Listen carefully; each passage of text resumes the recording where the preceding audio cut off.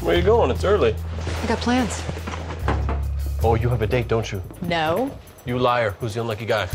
Yeah, right. See you guys in the morning. All right, see you tomorrow. Careful. Okay, so who's it? I don't know. Got me.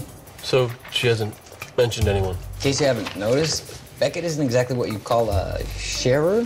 Why do you care? Anyway, Castle, do you have some unresolved feelings? Mm-hmm. For Beckett? The woman hates con movies. Speak